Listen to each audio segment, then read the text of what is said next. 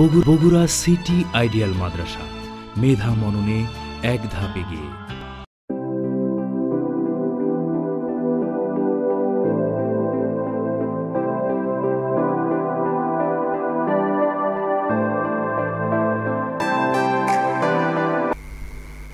বিসমিল্লাহ রহমান রহিম।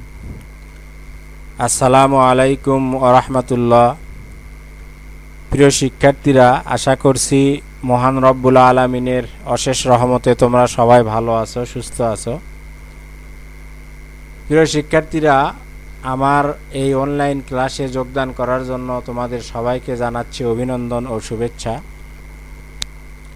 প্রিয় শিক্ষার্থীরা, আমার আজকের class class six subject English second paper topic হবে টেন্স টেন্সের উপরে তোমাদের আজকের ক্লাস। আমি ইতিপূর্বে ক্লাসেও তোমাদেরকে বলেছি, সাজেশন দিয়েছি যে টেন্সটা অত্যন্ত গুরুত্বপূর্ণ একটি অধ্যায় ইংরেজি গ্রামারে। টেন্স যদি না জানো, পরবর্তী যে ধাপগুলো আছে, ধরো ভয়েস বলো, তারপরে তোমার ন্যারেশন বলো, তারপরে তোমার কি বলে rewrite form of the verb বলো, যেগুলো সামনে আছে, এগুলো তোমাদের জন্য অত্যন্ত কঠিন হয়ে যাবে। বিশেষ করে ভয়েস ন্যারেশন তো করতেই পারবে না, কারণ টেন্স জানার পরে কোনটা, কোন টেন্স এই অনুযায়ী তোমাকে ভয়েস চেঞ্জ করতে হবে ভয়েস চেঞ্জের নিয়ম আছে। কাজেই তোমাদেরকে গত ক্লাসেও বলেছি, এই অধ্যায়টি অত্যন্ত গুরুত্বপূর্ণ, তোমরা খুব যত্ন সহকারে এই অধ্যায়টি পড়বে এবং আত্মস্থ করবে। আর পাশাপাশি বিভিন্ন ধরনের উদাহরণ দিয়ে তোমরা দেখবে যে তোমরা এটা করতে পারো কি না প্রিয় শিক্ষার্থীরা, দেখো, আমরা আজকে যাব দুটি টেন্স নিয়ে আজকে আলোচনা করব। ইতিপূর্বে তোমাদের কাছে টেন্স কাকে বলে, টেন্স কত প্রকার, প্রধানত টেন্স তিন প্রকার, সেগুলো নিয়ে আলোচনা করেছি। প্রত্যেকটা টেন্সকে আবার চার ভাগে বিভক্ত করা হয়েছে, সেটা নিয়ে আমি আলোচনা করেছি এবং প্রেজেন্ট ইনডিফিনিট টেন্স কাকে বলে? প্রেজেন্ট ইনডিফিনিট টেন্স কীভাবে আমরা গঠন করব? সেটাকে হাঁ বোধক, না বোধক কীভাবে করব? প্রশ্নবোধক কীভাবে করব? এই নিয়ে আমার আলোচনা ছিল। প্রিয় শিক্ষার্থীরা, আজকে যেটা আলোচনা করব, সেটা হলো প্রেজেন্ট কন্টিনিউয়াস টেন্স এবং প্রেজেন্ট পারফেক্ট টেন্স এই দুটা নিয়ে আজকে আলোচনা করব। তোমরা জানো যে প্রেজেন্ট পারফেক্ট টেন্স যখন আমরা আলোচনায় যাব বা করব, তখন কিন্তু স্ট্রং ভার্ব বা উইক উইক ভার্ব, যেটাকে আমরা প্রিন্সিপাল ভার্ব বলে থাকি, মূল ভার্ব, এই মূল ভার্বের কিন্তু বেস ফ্রম, প্রেজেন্ট যেটাকে বলা হয়, প্রেজেন্ট ফ্রম বা বেস ফ্রম, পাস্ট ফ্রম এবং পাস্ট পার্টিসিপল, এটা জানতে হবে। যেমন, ধরো, রাইট একটি প্রিন্সিপাল ভার্ব লেখা, এটার পাস্ট টেন্স হলো রোড পাস্ট পার্টিসিপল হলো রাইট এন তাহলে write wrote written do, did, done. Go, went, gone. এই জিনিসগুলো অবশ্যই তোমাদের জানতে হবে। না হলে কিন্তু প্রেজেন্ট পারফেক্ট টেন্স করতে পারবে না। প্রিয় শিক্ষার্থীরা, চলো আমরা আলোচনায় যেই। দেখো, এখানে প্রেজেন্ট কন্টিনিউয়াস টেন্স সম্বন্ধে আজকে আমার এই আলোচনা এখানে। দেখো, বাসের একটি ছবি দেখা যাচ্ছে। এখানে একজন মহিলা, সে এই টেলিফোন মানে মোবাইল ফোনে কথা বলছে। এটা দিয়ে বুঝাচ্ছে এখানে দেখো যে প্রেজেন্ট কন্টিনিউয়াস টেন্স অর্থাৎ বর্তমানকাল কি বর্তমানকাল একটা হলো সাধারণ বর্তমানকাল আর এটা হলো ঘটমান বর্তনা বর্তমানকাল প্রেজেন্ট কন্টিনিউয়াস টেন্সের বাংলা হলো ঘটমান বর্তমানকাল অর্থাৎ যে কাজগুলা বর্তমানে ঘটছে, এই কাজগুলা নিয়ে যখন তোমরা বাংলা মানে বাক্য ব্যবহার করবা, তখন আমাদের এই প্রেজেন্ট কন্টিনিউয়াস টেন্সের নিয়মে আমাদের ব্যবহার করতে হবে। যেমন দেখো এখানে যে কোনো কাজ বর্তমান কালে চলছে বা হচ্ছে এরূপ বুঝালে ভার্বের প্রেজেন্ট কন্টিনিউয়াস টেন্স হয়। তাহলে বর্তমান কালে যে কাজগুলো ঘটছে অথবা হচ্ছে চলমান আছে যে কাজগুলো এক কথায় চলমান থাকতে হবে। যদি চলমান থাকে, তাহলে সেই টেন্সকে বলবে প্রেজেন্ট কন্টিনিউয়াস টেন্স অর্থাৎ ঘটমান বর্তমান। যেমন, এখানে দেখো উদাহরণ দিছে যে the driver is driving a bus যে একজন চালক একটি গাড়ি বাস চালাচ্ছে।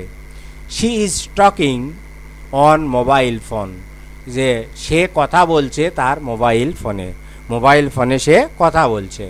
দেখো, ছবিতে দেখা যাচ্ছে একজন চালক বাস চালাচ্ছে ও একজন মহিলা মোবাইল ফোনে কথা বলছে।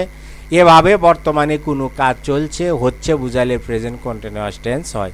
তাহলে এখানে পিকচার যেটাকে বলে, ছবি মূর্ত বিমূর্ত যেটা ছবির মাধ্যমে অনেক পড়াগুলানো বোঝানো হয়। তাহলে এই ছবির মাধ্যমে এটা বুঝাই দিল যে যে কাজগুলা বর্তমানে চলছে, এরূপ যদি বুঝাই তাকে কি বলবে? প্রেজেন্ট কন্টিনিউয়াস টেন্স আরও দেখো এখানে উদাহরণ he is writing a letter সে একটি চিঠি লিখছে আই অ্যাম রিডিং এ বুক আমি একটি বই পড়ছি ইট ইজ রেইনিং এখন বৃষ্টি হচ্ছে। এই যে বৃষ্টি হচ্ছে এগুলো হলো বর্তমানকালে ঘটছে এই জন্য এটাকে বলে ঘটমান বর্তমান বা প্রেজেন্ট কন্টিনিউয়াস টেন্স তাহলে ধরো যে আমরা ইংরেজি ভাষাভাষীর লোক নয়, আমরা বাংলা ভাষাভাষী, তাহলে আমরা বাংলাতে কি চিহ্ন থাকলে বা কীভাবে বাক্য থাকলে আমরা বুঝব যে এটা প্রেজেন্ট কন্টিনিউয়াস টেন্স আমরা বুঝতে পারব। প্রিয় শিক্ষার্থীরা, আমি আবারও বলছি টেন্স কিন্তু অত্যন্ত গুরুত্বপূর্ণ একটি অধ্যায়, অবশ্যই তোমরা ভালো করে এটা শিখবে। তাহলে দেখো, বাংলায় যখন আমরা বাক্য ব্যবহার করব বা বাংলা দেখব বা বাংলা বাক্য থেকে যখন আমরা করব, তখন দেখো, এটা বাংলা রূপটা কেমন হবে? যে বাংলা ক্রিয়ার শেষে তেসো, তেসেন, তেসি থাকলে ইংরেজিতে প্রেজেন্ট কন্টিনিউয়াস টেন্স হয়। যদি বাংলা ক্রিয়ার শেষে তেসো থাকে, তেসেন থাকে, তেসি থাকে, এগুলো যদি থাকে, তাহলে ইংরেজি যখন করব, তখন এটা আমরা প্রেজেন্ট কন্টিনিউয়াস টেন্সের নিয়মে করব। তেসো, তেসেন, যেমন খেলতেছো খেলতেছেন যাচ্ছেন হ্যাঁ? ইতেসি, আবার এটাকে যদি তুমি সাধু ভাষার রূপে ব্যবহার থাকে কোনো বাংলা, তাহলে কিন্তু ইতেসি, ইতেসো, ইতেসেন হবে। আর এটা তেসি, তেসো, তেসেন চলতি ভাষায় যদি থাকে, তাহলে এটা হবে। তাহলে তোমরা অবশ্যই মুখস্থ করে নিবে যে বাংলা ক্রিয়া শেষে কী চিহ্ন থাকলে বা কি রূপ থাকলে আমরা এটা প্রেজেন্ট কন্টিনিউয়াস টেন্সে করব। এরপরে যাব আমরা টাকচারে টাকচার মানে কি গঠন প্রণালী মানে কোথায় কোন শব্দটা আমরা বসে এই বাক্যটা গঠন করব। এখানে দেখো টাকচারে বলছে যে প্রথমে আমরা কি বসাবো সাবজেক্ট বসাবো তারপরে আমাদের এই টেন্সের সাহায্যকারী ভার্ব যেটাকে হেল্পিং ভার্ব অথবা অক্সিলারি ভার্ব বলা হয়, এটা অ্যাম ইজ আর এই তিনটার যেটা হবে সাবজেক্ট অনুযায়ী সেটা আমরা বসিয়ে নিব। তারপরে কি করব? মূল ভার্বের আমরা কি করব? সঙ্গে আইএনজি যোগ করব। তারপরে অবজেক্ট অথবা এক্সটেনশন অর্থাৎ বাকি অংশ বলে সেগুলো আমরা লিখব। তাহলে প্রথমে সাবজেক্ট তারপরে হেল্পিং ভার্ব হিসাবে অ্যাম ইজ আর তারপরে মূল ভার্বের সাথে আইএনজি যোগ, তারপরে বাকি অংশ। প্রিয় শিক্ষার্থীরা দেখো, গঠন প্রণালী সাবজেক্টের পরে নাম্বার ও পার্সন অনুসারে to be verb am is are যেগুলো আমরা বসাতে হয়, এটা বসে, এবং মূল ভার্বের সঙ্গে আইএনজি যুক্ত হবে। যেমন দেখো I am doing my homeworks মানে আমি আমার বাড়ির কাজ করছি। It he is reading books সে একটি বই পড়ছে। আর নোট যে কিছু কিছু ভার্ব আছে, যে ভার্বগুলা প্রেজেন্ট কন্টিনিউয়াস টেন্সের নিয়মে গঠন হয় না প্রেজে পাস্ট কি প্রেজেন্ট ইনডিপেন্ডেন্ট টেন্সে হয়। সে ভার্বগুলো দেখো দিছে বিলিভ ফিল এগুলো তোমরা অবশ্যই মুখস্থ করবে যে কোন ভার্বগুলো প্রেজেন্ট ইন্ডিপেন্ডেন্ট টেন্স হয় হয়, শুধু প্রেজেন্ট কন্টিনিউয়াস হয় না, অর্থাৎ আইএনজি যুক্ত হয় না। যেমন দেখো believe feel hear hope know think like see love understand তারপরে তোমার want wash under wonder belong conceit contain হ্যাঁ? প্রসেস তারপরে রিজেম্বল স্মিল ইত্যাদি ভার্বের প্রেজেন্ট কন্টিনিউয়াস টেন্সের রূপ হয় না। তবে সিং ও থিঙ্কিং শব্দ দুটির কন্টিনিউয়াস রূপে ব্যবহার বর্তমানে প্রচলিত। তাহলে এখানে যেগুলা দিছে, এর মধ্যে সি সেখান থেকে সিং আর থিঙ্ক আছে, এখান থেকে থিঙ্কিং এই দুটা বার বর্তমানে কন্টিনিউয়াস টেন্স হিসাবে ব্যবহার করছে আর অন্য ভার্বগুলার কিন্তু প্রেজেন্ট কন্টিনিউয়াস টেন্স হয় না এগুলা প্রেজেন্ট ইনডিপেন্ডেন্ট টেন্সে ব্যবহার হয়। প্রিয় শিক্ষার্থীরা, তাহলে ওখান থেকে আমরা জানলাম প্রেজেন্ট কন্টিনিউয়াস টেন্স আমরা কীভাবে চিনব, বাংলা ক্রিয়ার শেষে কি থাকলে আমরা বুঝব এটা প্রেজেন্ট কন্টিনিউয়াস টেন্স এবং কীভাবে গঠন করলা, করব এটা আমরা শিখলাম। অবশ্যই তোমরা বাড়িতে এগুলো শিখবে, বারবার এগুলো মুখস্থ করে কালচার করবে, চেষ্টা করবে, তাহলে তোমরা পারবে। প্রিয় শিক্ষার্থীরা, এবার আমরা দেখব present perfect tense present perfect tense কাকে বলে? বলছে, কোনো কাজ এইমাত্র শেষ হয়েছে এবং তার ফল এখনও বিদ্যমান রয়েছে। এরূপ বুঝালে ভার্বের প্রেজেন্ট পারফেক্ট টেন্স হয় যে, কাজটা শেষ হয়ে গেছে, কিন্তু ফলটা এখনও বিদ্যমান রয়েছে। তাহলে এটাকে বলবে আমাদের কি কাল বলে? প্রেজেন্ট কন্টিনিউয়াস হলো ঘটমান বর্তমান, আর এটা হলো পুরা ঘটিত বর্তমান। একবারে ঘটে গেছে, কিন্তু ঘটে কাজটা শেষ হয়ে গেছে, কিন্তু ফলটা এখনও বাকি রয়েছে, বিদ্যমান রয়েছে। এরকম যদি বুঝাই ক্রিয়া বাক্যটা, তাহলে আমরা এটা প্রেজেন্ট পারফেক্ট টেন্সে ধরে নিব এবং প্রেজেন্ট পারফেক্ট টেন্সে আমরা এর ইংরেজি ইংরেজি ট্রান্সলেট করব। এখানে দেখো, বলছে এক number, Tamim has scored a century যে তামিম হ্যাজ তামিম স্কোর্ড তার সেঞ্চুরি মানে সে একশো তার স্কোরে কত যোগ হয়েছে? একশো সেঞ্চুরি, একশোটা, একশো সে রান করেছে। এরপরে দেখো, Rafiq has written his name on the board Rafiq has written Rafiq লিখেছে হ্যাঁ হিজ নেম তার নাম অন দ্য বোর্ড বোর্ডের উপরে। রফিক তার বোর্ডে নাম লিখেছে। এখানে দেখো বোর্ডের চিহ্ন দিয়েছে, এখানে রফিক লিখছে, এখানে রান দেখো, একশো লিখছে, এগুলো প্রেজেন্ট পারফেক্ট টেন্স একজন ক্রিকেটার এইমাত্র সেঞ্চুরি করার পর ব্যাট উঁচিয়ে দর্শকদের শুভেচ্ছা জানান আর পাশের ছবিতে রফিক বোর্ড তার নাম লিখে হাতে চক নিয়ে দাঁড়িয়ে আছে যেন এইমাত্র কাজ শেষ হয়েছে, কিন্তু ফলটা বাকি রয়েছে হ্যাঁ? এখানে আরও তিনটি উদাহরণ দিয়েছে, দেখো I have done the work মানে আমি কাজটি শেষ করেছি ইউ হ্যাভ লাইকড দেম সে তাকে পছন্দ করেছে। তারপরে দেখো না কিল্ড সরি এখানে লাইক না কিল্ড আমি ভুল বলছি। ইউ হ্যাভ কিল্ড দেম সে তাকে হত্যা করেছে।